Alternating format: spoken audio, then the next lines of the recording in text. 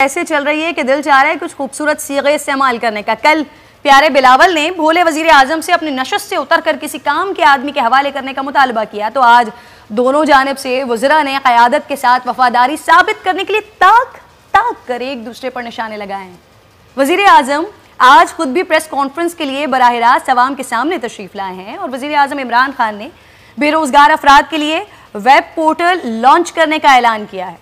बेरोजगार अफराद यहाँ अपना नाम रजिस्टर करवाएँ और बारह हज़ार रुपये ले जाएँ। उन्होंने कहा एहसास प्रोग्राम के तहत तीन हफ़्ते में इक्यासी अरब रुपए इकसठ लाख खानदानों में बांट दिए हैं। वज़ीर आज़म इमरान खान साहब का मजीद कहना था, था पाकिस्तान समेत दुनिया में लॉकडाउन के मनफी असरात मीशत पर पड़ रहे हैं। न्यूयॉर्क में हज़ारों लोग मर गए हैं।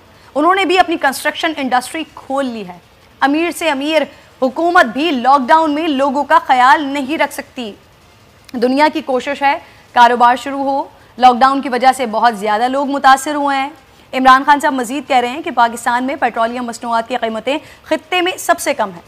वज़ीर अजम इमरान खान मजीद कह रहे हैं कि एक माह में पेट्रोल की कीमत में तीस रुपये डीजल की कीमत में बयालीस रुपये कमी आई है। भारत और बांग्लादेश में पेट्रोल की कीमत पाकिस्तान से सौ गुना ज़्यादा है।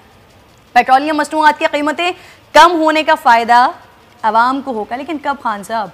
पेट्रोल की कीमत बढ़ते ही हर चीज़ की कीमत में इजाफा हो जाता है, लेकिन जब कम होती है तो उसका असर तो कहीं दिखाई नहीं देता।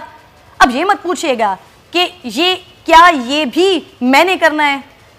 एडवांस में यकीन दिला रही हूँ, आप ही वज़ीर आज़म हैं और ये आप ही का काम है। काम तो वैसे यहाँ कोई और भी नहीं कर रहा है वैसे नाजरीन। सिंध के वज़ीर इतलात ने कोरोना फैलने का जिम्मेदार विफाक हुकूमत को करार दे दिया है। ठीक है, सियासत करे, लेकिन क्या ये सुनने समझने में देखने में कुछ बच्चों जैसी बात नहीं नहीं लगती है। अब कोई ने बताए कि हम बतलाएँ क्या? देखो किरण पहले तो मैं आपको एक बड़ा सिंसियर मशवरा दूँगी कि आप ये शेख रशीद टाइप के लोगों की जो है ना वो बातों को इतना संजीदा ना लिया करें। आ, वो मासूफ जो है वो चूँकि मीडिया से खेलने के आदि हैं और वो उनको हेडलाइन बनवानी होती है किसी तरह वो इस तरह की बातें करेंगे तो हेडलाइन बनेगी ना वरना उनकी बात को अहमियत कौन देता है? एक शीट की वो जो है वो कायद है और लीडर है वो पता नहीं किस चीज़ के लीडर बने हुए हैं। उनकी बातों को अहमियत देना वक्त का जया है। मेरी गुजारिश ये है कि यहाँ पर कोई चीज़ जो है वो चोरी छुपे तो हो नहीं सकती। जो भी होगा वो पार्लियामेंट के अंदर होगा। हम्म। और ये जिस हुकूमत के वज़ीर हैं शेख रशीद साहब वो तीन वोटों की चार वोटों की हुकूमत है। एक रेजोल्यूशन तक ये ए, ए, और एक होता ना कि आप सिर्फ़ टेबल नहीं करने के काबिल हम्म। ये क्वेश्चन पुट नहीं कर सकते हाउस के अंदर। पास कराना तो बहुत बात की बात है। वेलकम बैक जी नाजरीन पाकिस्तान में कोरोना वायरस के केसेस का नया रिकॉर्ड कायम हुआ है। गुजशत 24 घंटों के दौरान 1200 से जायद नए मरीज़ सामने आ गए हैं। एक ही दिन में बत्तीस अफराद को कोरोना वायरस हुआ। इसके बाद जाबाक हो गए। मजमू तौर पर कोरोना से मरने वालों की तादाद चार हो गई है। अब 417 हो गई है। कोरोना वायरस से मरीजों की तादाद अट्ठारह हज़ार से तजावज़ कर चुकी है पाकिस्तान में आलमी सतह पर मोहलिक कोरोना वायरस से मुसदा तौर पर मुतासर चौंतीस लाख अफराद में से दस लाख अफराद सेहतियाब हो गए हैं। पाकिस्तान में वायरस से जाबाक अफराद में पैंसठ फ़ीसद पचास साल से कम उम्र है। अस्सी फ़ीसद तादाद मर्दों की है। कोरोना का निशाना ज़्यादातर मर्द हजरात क्यों हैं। क्या पाकिस्तान की तरह दुनिया भर में भी कोरोना खुवान पर ज़्यादा असरअंदाज नहीं हो रहा? अगर ऐसे ही है तो इसकी वजह क्या है? इस पर बात करने के लिए डॉक्टर्स का पैनल मेरे साथ मौजूद है डॉक्टर जावेद आलम। आपको खुश आमदीद कहूँगी, अंसर मकसूद साहब आपको भी मैं खुश आमदीद कहूँगी। मैं सिर्फ़ आपसे सवाल करने से पहले मैंने एक अभी कुछ टाइम पहले एक छोटी सी रिसर्च भी देखी, जो फोर्टीन ऑफ़ अप्रैल तक है। उसमें मैं दिख रही हूँ सिक्सटी वन मेल डेथ्स का रेशो है thirty eight point two percent female deaths का रेशो है तो ये डिफरेंस आ रहा है। तो क्या खातन का इम्यून सिस्टम ज़्यादा होता है और दुनिया भर में भी ऐसे ही है या पाकिस्तान से आदाद शुमार मुख्तलिफ़ तो एक मेडिकली अल्लाह ताला ने अभी कहा था चाइल्ड बेयरिंग जो अल्लाह ने दी है माँ का एक जो दर्जा दिया है वो तो औरत को दिया है तो बर्दाश्त भी औरत को दी है। और ये सब साबित हो रहा है आपके सामने कि वायरस हो या बैक्टीरिया हो या कोई भी प्रॉब्लम हो फीमेल उसको रेजिस्ट कर जाती है। हम्म। तो मेल के अंदर कार्डिक भी डायबिटीज़ भी मल्टीपल प्रॉब्लम लिकीमियाज भी सबसे ज़्यादा मेल में होते हैं और फीमेल में कम होते हैं। तो ये कोरोना ने भी बता दिया कि फाइट करना मुश्किल है। जी फैक्ट है। अच्छा डॉक्टर साहब फिर अब, अब जी जी आपकी आवाज़ हमें बिल्कुल क्लियर आ रही है। आप बिल्कुल अपनी गुफ्तु को कंटिन्यू हाँ, रखिए। जी हाँ बिल्कुल। अब सर अब अब अब थोड़ा सा इसके इस पहलू पर भी बात कर लेते हैं कि वज़ीर अजम पाकिस्तान ने कहा था कि अगर मिड ऑफ़ मे तक ये केसेस 20,000 से अबव चले जाते हैं तो फिर केसेस को टैकल करना बहुत ज़्यादा मुश्किल हो जाएगा। और हम मेडिकली फैसिलिटीज़ के साथ इतने साउंड नहीं हैं कि उसको टैकल कर सके सिचुएशन को। अभी तो सेकंड में है और यहाँ पर सूरत हाल ये है कि अट्ठारह हज़ार से ऊपर पेशेंट्स चले गए हैं। सर क्या कोई पॉलिसी बनाई जा रही है? कुछ किया जा रहा है? कित, कित, कितना कुछ किया जा रहा है? हेल्थ का निज़ाम कैसे बेयर करेगा इसको? ये अब कितना ट्रेंड जाएगा? किस हद तक जाएगा? ये आपकी बात सही है कि ये मिड ऑफ़ मे भी नहीं बल्कि ये third to fourth week of May में जाके हमें एग्जैक्टली exactly पता चलेगा कि इसका ग्राफ कहाँ तक जाएगा। हाँ, अल्लाह रहम करे अल्लाह रहम करे पाकिस्तान पर। सर डॉक्टर्स की जानब से मुतालबा किया जा रहा है मुकम्मल लॉकडाउन किया जाए।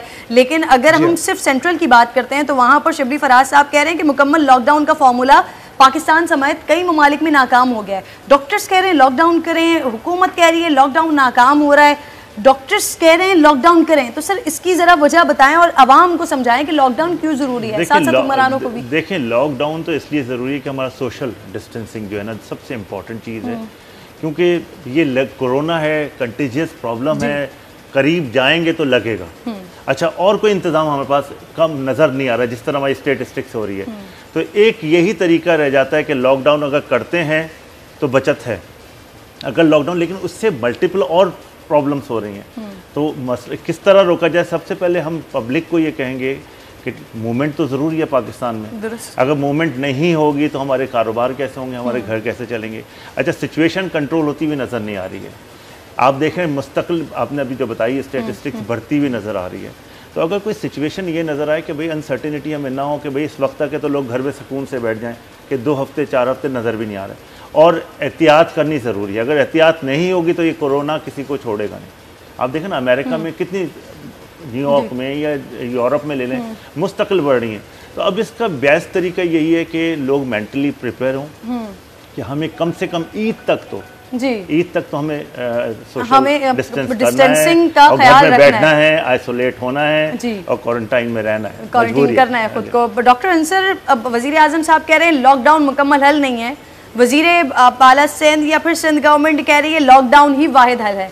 डॉक्टर अंसर को अगर मैं ये मौका देती हूँ कि आप प्लीज़ वज़ीर आज़म को मशवरा दीजिए कि क्या करना चाहिए तो आप क्या कहेंगे उनसे?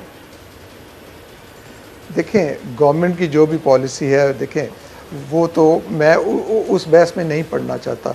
मैं हम्म। डॉक्टर साहब की बात को बिल्कुल एंडोर्स करूँगा। देखें पाकिस्तान तो एक थर्ड यू नो